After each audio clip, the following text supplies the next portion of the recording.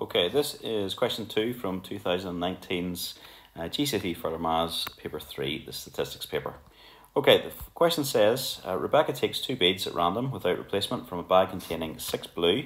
Uh, so there's six blue and there's four green, so that's a total of 10 in total.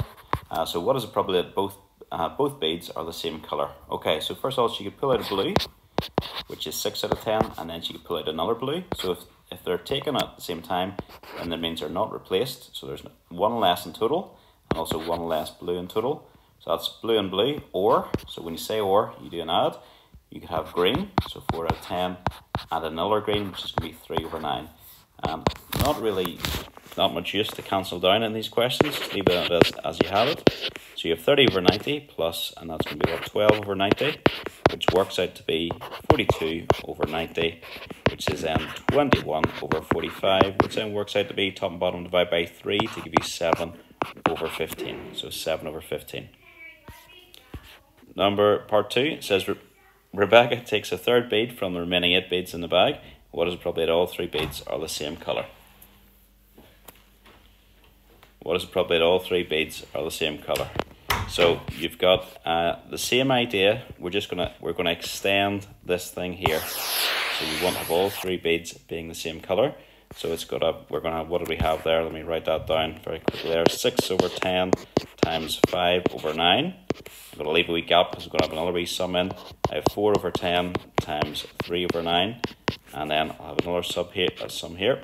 Okay, so you remember you had the six blue at the start, and you want to get all three the same. So that's now going to the next probability is going to be 4 out of 8. Over here, the next one's going to be uh, 2 over 8. So we'll just work those out. Um, I'll just work out what the denominators are going to be. So both denominators are going to be the same. So you've got 10 times 9 times 8. So they're both going to be over 720. And just makes it easier if you just leave them both like that. And then you had 6 times 5 times 4 which works out to be 120.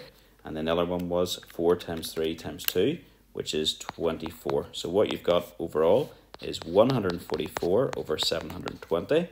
So 144 divided by 720, I'll just use my calculator this time, and that works out really nicely to be 1 fifth. Okay, part 3 says, given that the first two beads are the same, what is the probability that the third bead is also the same? Uh, as the first two. Okay, right. This is conditional probability. So using the probability of A given B, which is equal to probability of A and B divided by the probability of B.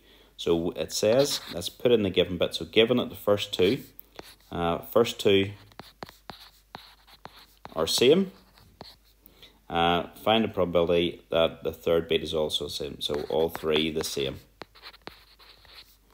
Okay, right. What that means then uh, using this definition for conditional probability, you've got to have all three the same on the top